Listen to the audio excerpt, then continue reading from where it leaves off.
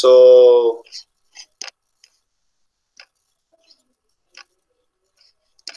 I will be using a Word or Microsoft Word to present the lesson. Okay, so we are now in um, our continuation of the lesson. Last time we talked about functions, di? Functions. Nakikita niyo ito? Check. Nakikita ang aking screen? Sagot po. Hello? Nakikita po. Okay. Ano nakalagay? Ano nakalagay? Function. Functions, di ba? Okay. So, ano raw ang function? Paano natin malalaman ang function? Sino po rito ang ah, nakaalala doon sa ating lesson last time? Sino ang nakaalala sa ating lesson?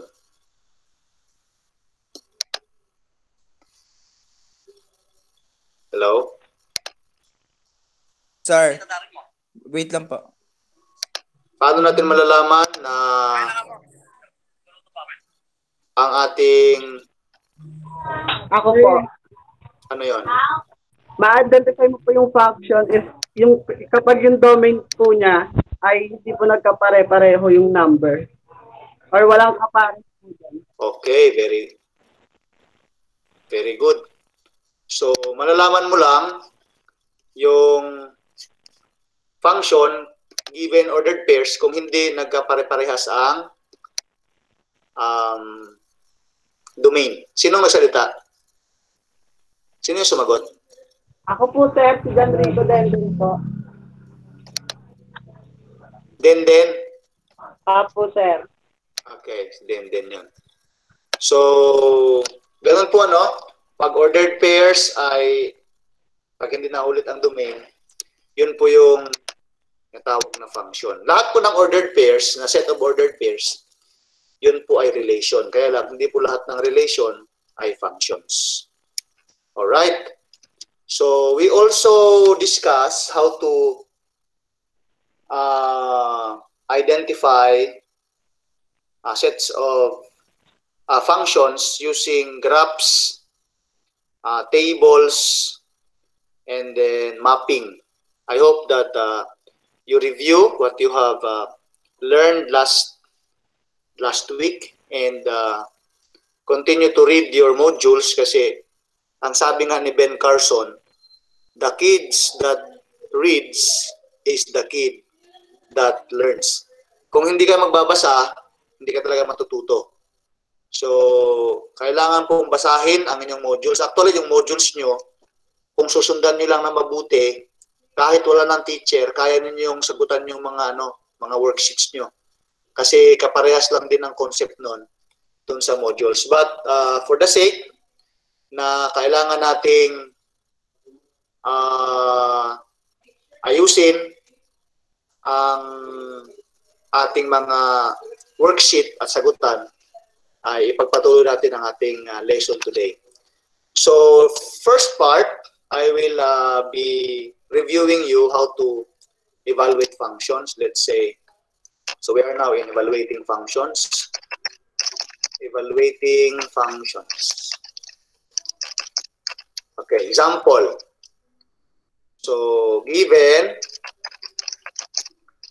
given uh, f of x is equal to, uh, let's say, 3x minus 5. And then, find kahit dalawa lang. Uh, f of, let's say, f of 3 equals, and then the other one is f of negative 5. Okay. So, sino ang pwedeng uh, sumagot ng uh, first example? Ako sir, Okay. Minda. So, isulat nyo muna sa inyong mga papel dyan. I-accept ko lang yung iba. Ay, wala naman. Wala naman palang pumasok. Akala ko may pumasok. Kuha muna kayo ng ano, ng... Ayun. Si Cyrilus. Okay, kuha muna kayo ng papel, tapos isolve nyo sa inyong ah papel. Tapos sabihin nyo lang sa akin ang sagot. Alright. So, anong sunod na susulat ko? 3 Instead na x, tapalitan natin ng x ng R, 3 po. ano, 3, 3. Tapos minus 5 po. 5. Kaya ang f of x is equal to 9. 9 ba yan? Apo. Minus 5 5 Yes. equals Four. 4 po. ang sagot 4. So f of 3 given uh, f of x is equal to 3x minus 5. Ang sagot po ay uh, 4. Alright. Thank you. Talagang ginagalingan nyo na. Pwede ba ako magtawag ng ano ng estudyante? Ah, tatawagin ko si Christine Absalon. Christine, nandiyan ka pa ba? Sir, Okay, ikaw ang number two. Okay? Ay, sorry, mali. Number two ka, f of negative 5. So, ilalagay ko lang. Ito yung function natin. Okay? Ano ang sunod kong ilalagay? 3 times ano? 16. Wala, nawala na si Christine. Okay? 3 times negative 5 po. Negative 5. Tapos, minus Minus 5. 5. Tapos, sunod, 3, 3 times negative 3 times negative 15 equals negative at 3 times negative 5 equals negative 15 tapos minus 5. minus 5. Ano sagot? Positive 10. Okay, so sige, review tayo dito ha. Sa atin pong pagmaminus, lagi nang tandaan, ang minus po sa integers ay utang. So, ang positive naman, meron tayong pera. Laging tandaan ha, utang at saka pera. So, pag ganyan po ang mukha niya, negative 50, negative 5, may pera ba dyan o utang lahat? Utang lahat yan ha. Ibig sabihin, utang na 15, utang na 5. Kaya ibig sabihin, ang atin pong sagot dito should be negative 20. So, negative 20 po yung ating ah, f of negative 5. So, doon po sa ating ordered pair, sa first part, meron tayong ah, x is equal to 3, the y is equal to 4. So doon naman sa f of negative 5, ang atin pong y nun is negative 20. Nagets ba? That's sir. Okay. So magbibigay pa ako ng isa pa, which is uh, quite uh, challenging. Ito challenging po ito dahil mag- maglalagay ako dito ng f of, let's say, x plus 2. What is x plus 2 of this function? 3 i at 3x minus 5. Okay, so bago po yan, bago po kayo i-ask how to solve this one, ay sasagutan ko muna ito, tapos magbibigay ako ng isang example mamaya. So, ganun pa rin ang process. The process still the same. We have to um, replace the values of x into x plus 2. Alright. So, we have here 3. Instead of x, we will um, put or plug in the said uh, values of x, x plus 2. Okay? Ito po yung ating ilalagay. and then we have minus 5. Alright? So wala pong nagbago sa ating ah, sistema. Ilalagay lang po natin sa loob ng x yung atin pong nasa ah, parenthesis. Okay, so paano kaya yan i-multiply?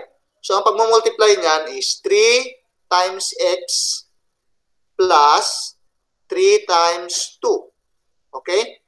So we have 3 times x, we have 3x. 3x plus 3 times 2, we have 6. And then minus 5. Then we have 3x. 6 minus 5, halata naman, plus 1. So yan na po ang ating ah magiging sagot. Okay?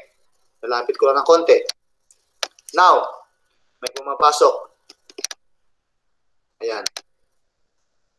Ah, advice ko pala sa lahat po ng aking mga estudyante, pakiayos po ng inyong mga pangalan sa Facebook, sa Messenger at saka sa Google Meet, pati sa e-classroom. Magkakaroon po tayo ng e-classroom sa mga susunod na araw.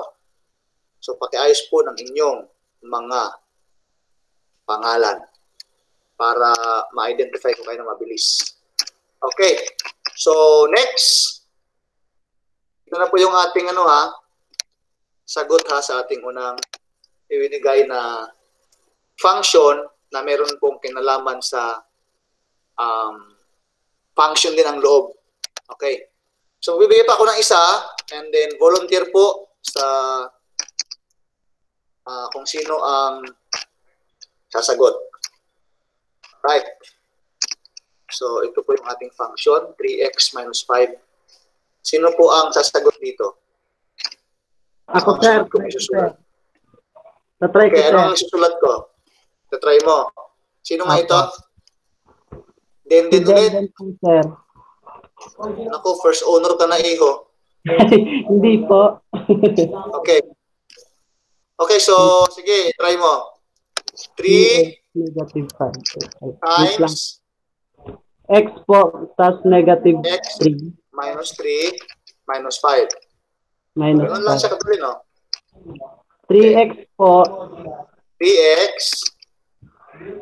negative, negative negative 6, 6 ba? 3 times negative negative 3? 3 times 6. Ay, 9, sir. 9. Okay. Tapos minus 5. 5. Okay. Equals 3x po, 3x negative 14. negative 14. Very good. Okay. So, ganun lang po siya kasimple. Okay? So, kung meron kayong tanong, magtanong na kayo. Meron pong ibang mga functions na given ay medyo mahirap. Katulad ng, let's say for example, ang given ay ah, meron pong quadratic function. O let's say, magbibigay tayo ng isang function another given, let's say for example, papapakita ko lang sa inyo ha. Halimbawa, given the function of uh, given f of x equals, let's say, x squared. Okay. So, let's say x squared um, minus 5. Ah, sige, kumputan ko. Okay, x squared minus 5. Tapos, let's say, find, ito ulit, yung sa taas ulit, f of negative 3. Kopyahin na natin. Find f of negative 3. Papalitan natin ng x ng n. Let's say, n minus 3. Okay, so pag-isipan yung ah mabuti, bibigyan ko kayo ng dalawang minuto. Tapos, after 2 minutes, ay kailangan meron na kayong sagot dito. Okay? So, kopyahin natin to. x squared minus 5.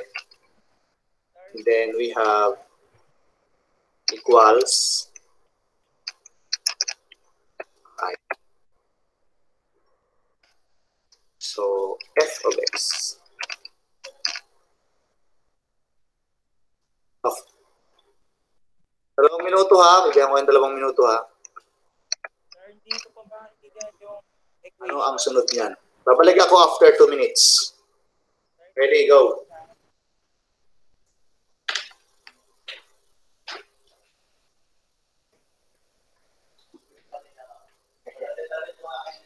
Sir,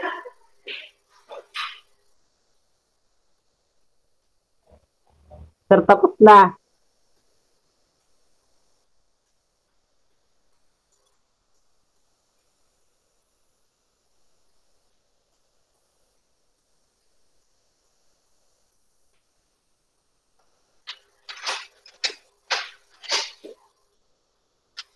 Nawalan ako ng signal.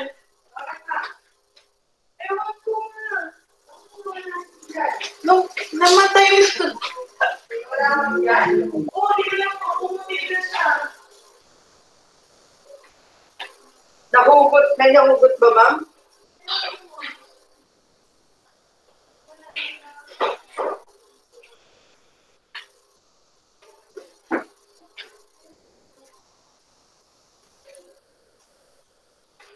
Hello? Tapos na ba? Andyan pa ba kayo? Sinasolve niyo ba o mahirap? Sir, tapos na po. Jean Muneba. Sir, Sir, hindi Jean. pa. Kaya ba? di lang ako sure kung tama po Wala, eh. hindi na nata ako naririnig ng mga to. Hindi po ako sure kung tama. Naririnig pa ba ako? Opo, sir. Opo, sir. Narinig kita.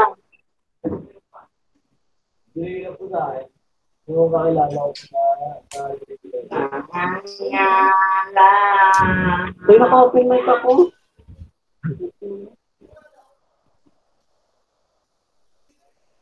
Hello? Check, hello. Hello, sir. John Rico Denden, naririnig mo ba ako? Hindi na. Naririnig po.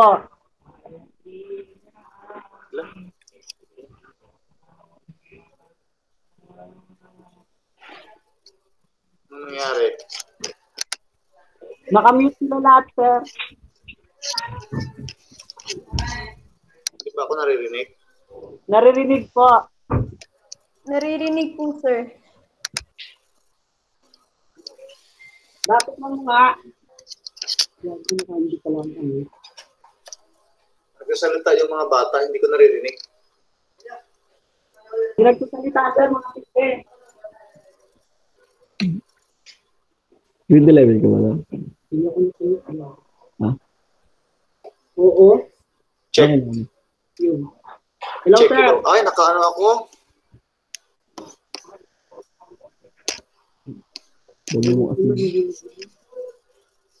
Ang alat. Okay naman. Check hello. Check, check. Hello, sir. So, sir, okay naman po. Okay na po kanina pa.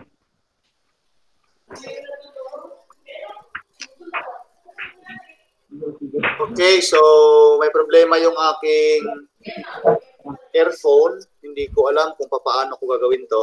Wait lang ha. Hintayin niyo muna ako dyan. Sige po.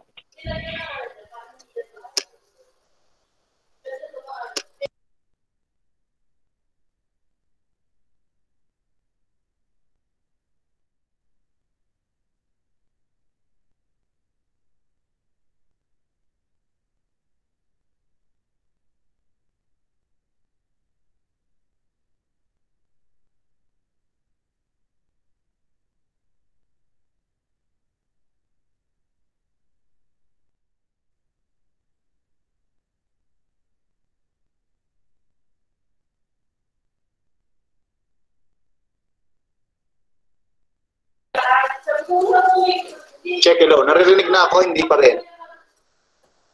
Naririnig po, sir. Ay, anak ng patis. Ikaw may problema.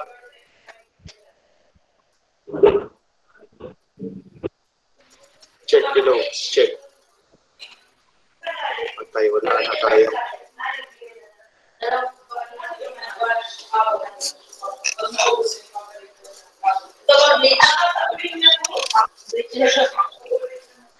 Hindi ko marinig yung mga bata. Sir?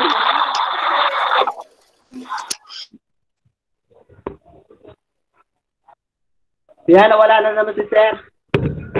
Iwan na naman tayo.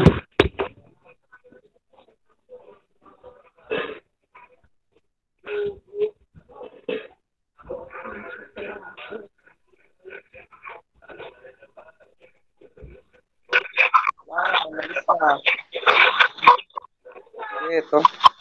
kayo? Yan, nag-green ulit.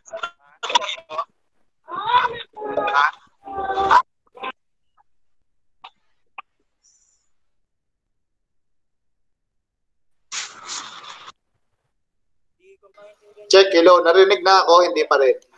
Naririnig ka namin, Sir. Eh, kanina. naririnig ka namin, sir, kanina pa. Ayun, naririnig ko na kayo. Sorry. Ah, talagang ano, ganito talaga ang buhay, no? Word of the day. Naririnig niyo na ako. ah, sige.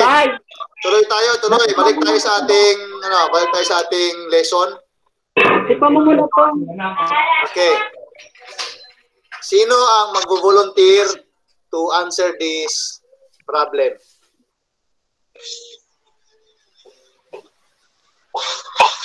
Ano ang sunod na isusulat ko? Equals, ah, pagtulungan na natin.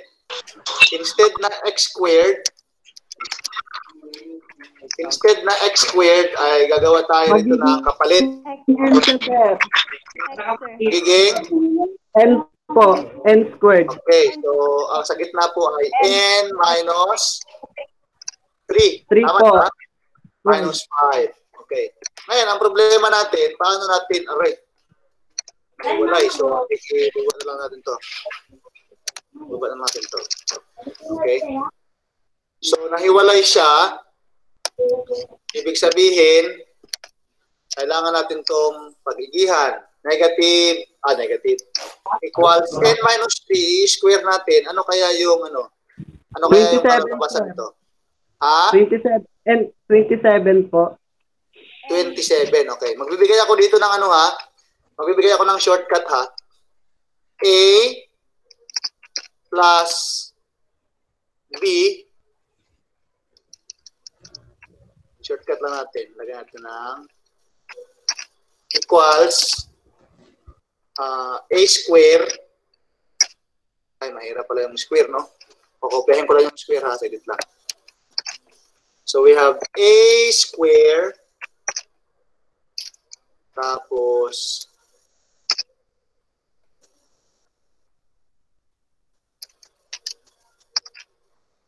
two AB plus 2AB and then plus B square. Okay. Paliwanag ko to kung an- paano to siya gagawin. So, ang gagawin natin, susundan natin to. Itong concept na to na itinuro noong grade ah 8 kayo. Okay, saglit lang ha. Saglit lang, saglit lang. Pag-isipan nyo munang mabuti kung paano gagawin.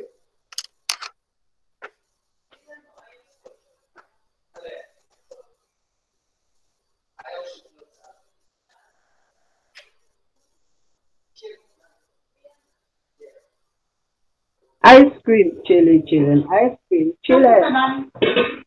Samahan si PS.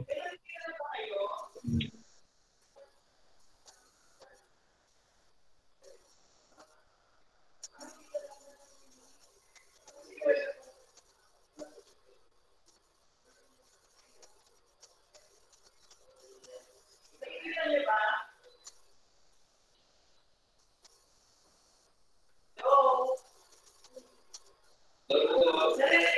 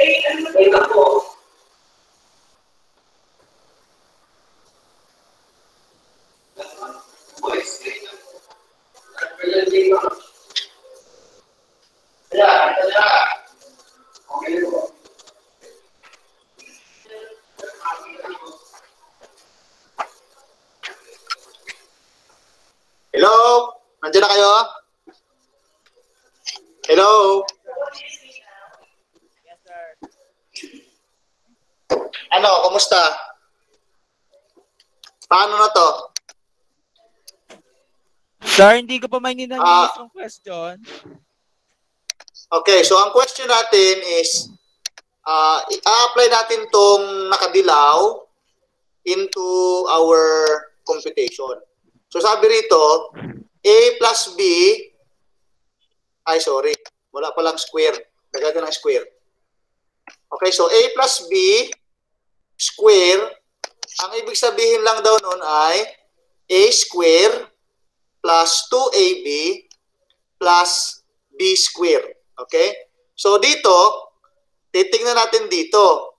Magiging A ay N, tapos magiging B is negative 3. O hiwalay po yan ha. Yung N po natin ay A, yung atin pong ah, B is negative 3. Kaya susundan lang natin to. Every time na makakita kayo ng ganitong mukha, mapa-negative man yan o mapa-positive, susundan lang natin to. Paki-take note po ito. So, yan po ay magiging A square. Ano nga ulit ang A? Ano nga ulit ang A in this situation? Ito? And Ang A po natin ay ang N. Tama? Mali? Tama po. Okay. Tama po. So nasun sana nasundan ako ha, uulitin ko po ha. Sa lahat ng mukha na ganito, mapa-negative man sa gitna o mapa, mapa, mapa-positive, we will uh, follow this concept. If we are going to uh, simplify a square, uh, a plus b um, quantity square, we will have a square plus 2ab plus b square. Okay. So, ulitin ko lang po, in this situation, ang atin pong a ay n. Kaya, naman, isusulat lang natin dito, instead na a, a n ang ating isusulat. Tapos, lagyan natin ng square. Liwanag ba yon? Okay. So, n square, Opo. ang sunod po nating isusulat is dalawang AB. Ibig sabihin ng AB is CA, we will multiply it to B. Okay. Dalawa. So we have dalawang 2 times AB. So ano ang AB natin ngayon? We have n times negative 3. Ano yon? n times negative 3. Hello? Ha? Sir, negative 3N. Negative 3n. Sorry. Tama po yun, negative 3n. Okay, very good yun, very good. Tapos, magpa-plus tayo dito ng b square. Ano ano ang b natin? Negative?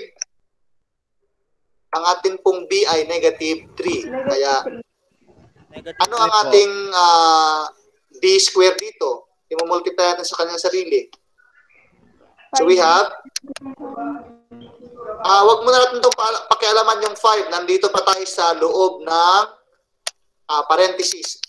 So we have Negative 3 3, ah, negative 3 square. Ano yon? 9. We have 9. 9. Hindi na po siya negative kung hindi positive na po siya. Kasi negative times negative is positive. So all in all, meron po tayong ganito ang mukha. Alright? Ganito po ang mukha niyan. Tapos, ilalagay naman natin sa dulo, minus 5. Nagets ba? Hindi. Sir, nugget Check, hello. Nagets naman. Apo. Nagets naman. O, isi-simplify pa natin yan. Hindi pa, hindi pa tapos yan, ha? Isi-simplify pa natin yan dahil para magkaroon tayo ng sagot sa dulo. Alright. Taas ko lang ng konti. So, we have here n square. Ay, ayaw na mag, ano. n square. Tapos, ano naman to? 2 times negative 3n. 2 times Sir. negative 3n. Sir, ano? Sir, negative 6N. 6n, tama.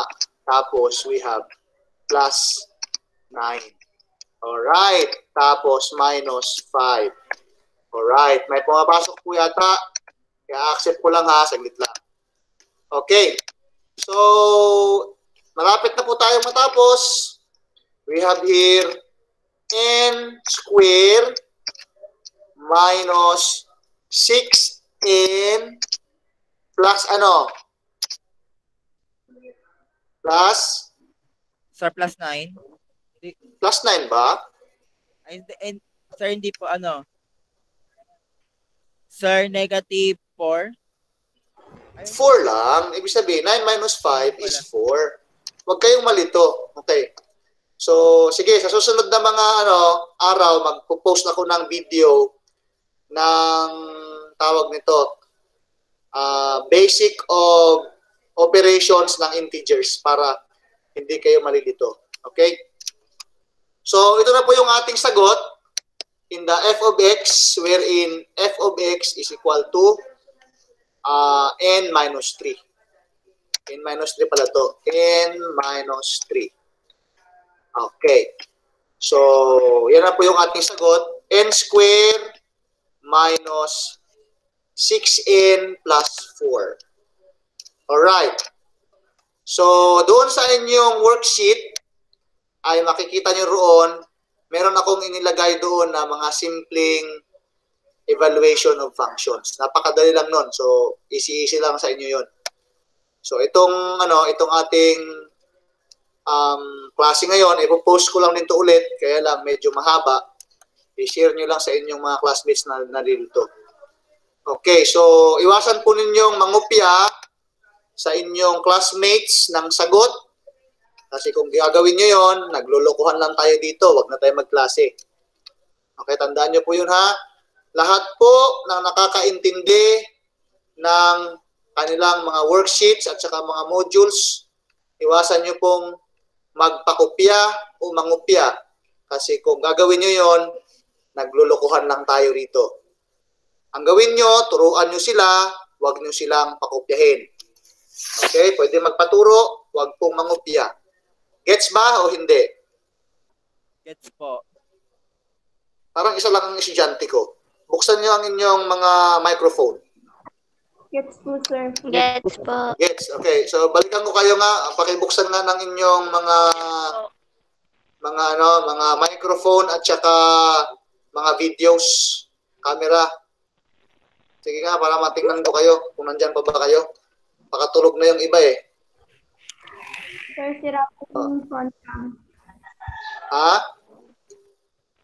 Sir, nasa. Ano daw? Sira ang... front cam daw po. Okay. Lahat, ang dami namang sira. Grabe naman yan. Sira lahat, pati si ano, Ame, ano yan? Ame Raquel, Alia Rodriguez, si April Ann, si Tricia. Ayan, tulog na yung mga iba. Sir, yung isa lang Okay. po ba yung worksheet? Isa lang ba ang worksheet natin? Yes, isa lang po. Pero marami pong laman yun. Okay? Oh my God. Ang laman nun ay mga tatlong sets yata, tatlong sets. Anyway, madali lang naman talaga siya. Ha? Okay, tuloy tayo. Ang atin pong oras ay 9.57. Siguro matatapos tayo ng 10.15 or 10.30 tapos mag-me time na kayo. Dahil na-late tayo ng konti kanina. Okay, next natin na lesson is uh, all about piecewise function. Ano naman kaya yung piecewise function? Okay, so puputulin ko lang muna dito ang ating ano ha, ang ating presentation, yung ating pagre-record. Tapos mamaya-maya mag-record din tayo ulit.